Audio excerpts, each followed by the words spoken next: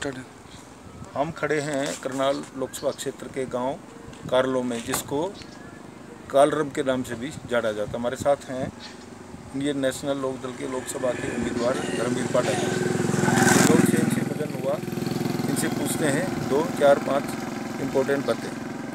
पाठक साहब आपको इस चुनाव में क्या क्या चीज़ें फेवर कर रही हैं? देखिए जो परिस्थितियाँ हैं इस लोकसभा के चुनाव की तो सारी की सारी परिस्थितियाँ हमारे पक्ष में है। क्योंकि अब तक जितने भी उम्मीदवार यहाँ से एमपी बनकर के चुने गए चले गए वो सारे के सारे आउटसाइडर थे, बाहर के थे। वो वो लोग थे जिनका इस क्षेत्र से कोई ताल्लुक नहीं था। तो ये हमारे पक्ष में बात ये ज़्यादा जाती है कि लोगों की भावना है कि हम अपने बीच के आदमी को लोकसभा में भेजें, जो हमारी आवाज़ को बुलंद कर सके। ये हमारे सबसे ज़्यादा पक्ष में। तो पड़ा साहब बेशक इंडियन नेशनल लोकदल और जेजेपी का विभाजन हो गया है लेकिन लोग और कार्यकर्ता और जो है ना वो तो सामान्य ही हैं आप लोगों के टच के हैं अब क्योंकि ये उनके गठबंधन में जिस किस्म का उम्मीदवार आया है तो उस बात का भी लाभ आपको कहीं होता नज़र आ रहा है। ये चीज़ भी आपके फेवर में है।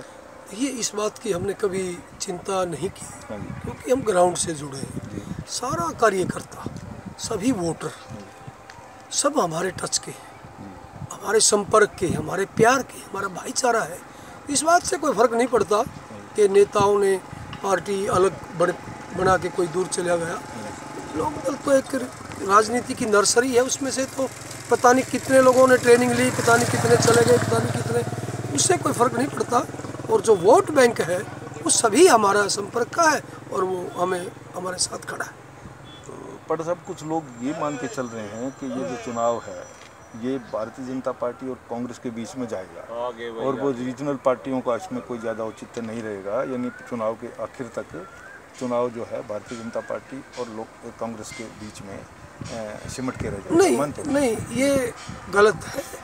ग्राउंड की स्थिति ये नहीं है। ग्राउंड की स्थिति ये है कि कांग्रेस के खिलाफ मैंडेट दिया था जनता ने। कांग्रेस के दुराचारों के खिलाफ और बीजेपी की सरकार बनाई थी। और जब बीजेपी को पाँच साल बरता वो उससे भी ज़्यादा खतरनाक होकर निकली।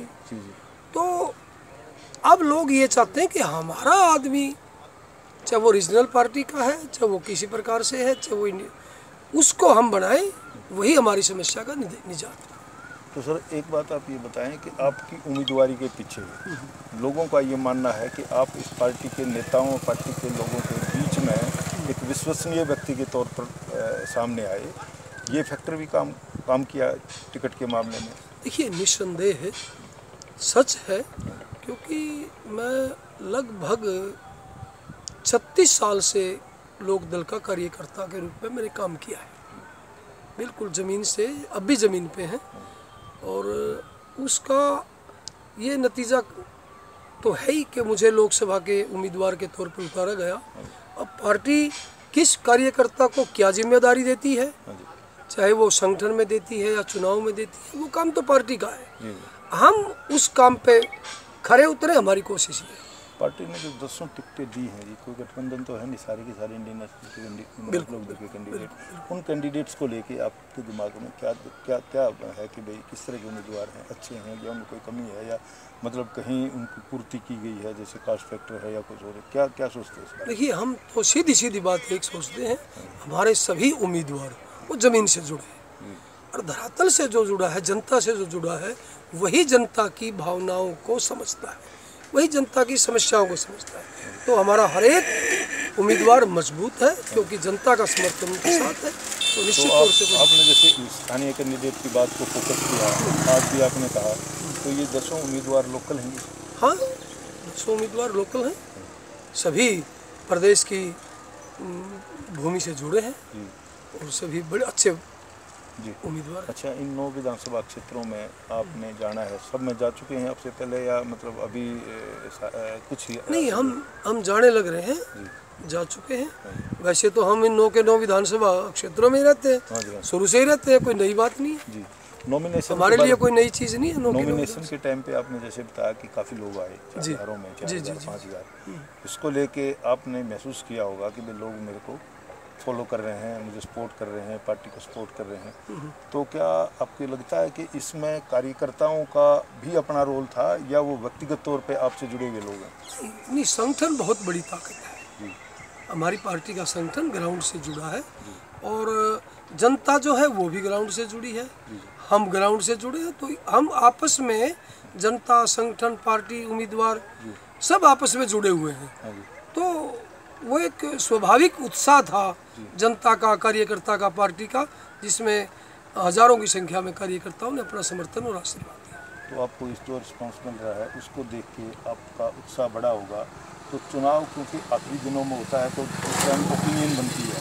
तो क्या आप इस मुहिम को जो अब चल रही है इसको मेंटेन कर पाओगे?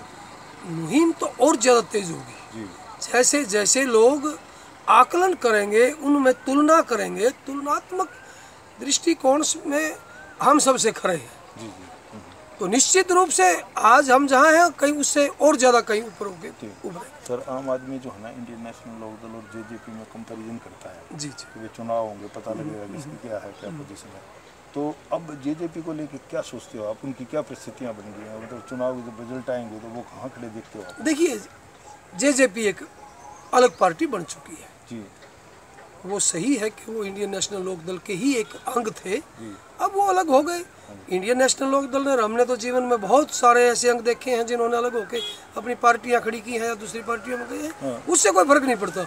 उस पर हम लंबा चौड़ा कमेंट करें वो भी कोई समझदारी नहीं। नहीं अब जैसे ना जी चुनाव के बाद जो रिज़ल्ट आते हैं वो पार्टियों की जो परिस्थितियाँ हैं वो वो सारी की सारी पार्टियों की वो इमेज बनाने बिगाड़ने का काम करती हैं। जी जी। अब मान लो चुनाव में जो रिज़ल्ट आते हैं क्या आपको लग रहा है कि जे जे पी से अच्छे रिज़ल्ट आएँगे इंडियन नेशनल लोक दल के? क्योंकि लोग ये जानना चाहते हैं। देखिए न केवल जे जे पी से मैं कहता हूँ सभी पार्टियों से अच्छे रिज़ल्ट आए। जी जी सभी पार्टियों से। आज भारतीय जनता पार्टी की सरकार है और सरकार हर तरीके के गलत सलत हथकंडे अपनाकर कब्जा करना चाहती है। जनता के अंदर लोकतंत्र में इतनी बड़ी ताकत है कि सरकार के हर हथकंडों को वो दूर करके अपनी सरकार हम तो आपका तालुका जो असंध विधानसभा क्षेत्र से है ये तो आप सब जगह वोट मांगोगे तो, तो वहाँ का जो रिस्पॉन्स है कंपैरेटिवली ज़्यादा अच्छा रहेगा मानते देखिए असंध हल्के का तो रहेगा ही रहेगा हाँ लेकिन मेरे लिए संभाल का भी उतना ही इम्पोर्टेंट है। इम्पोर्टेंट है और जुड़ाव है। इतना फ्रूटफुल है। उतना ही फ्रूटफुल है। जी जी। इसराना भी उतना ही है इंद्री भी उतना ही है नीलोखेड़ी भी उतना ही है। मेरे लिए बिल्कुल सारे समान है क्योंकि मैं, मैं ये जानना चाह रहा हूँ क्योंकि अच्छा- हमारी रिश्तेदारियों के संपर्क इतने अच्छा, हैं। अच्छे रिस्पॉन्स अच्छा रिस्पॉन्स कहाँ सभी में आएगा वो सभी में एक एक से बढ़कर एक। धन्यवाद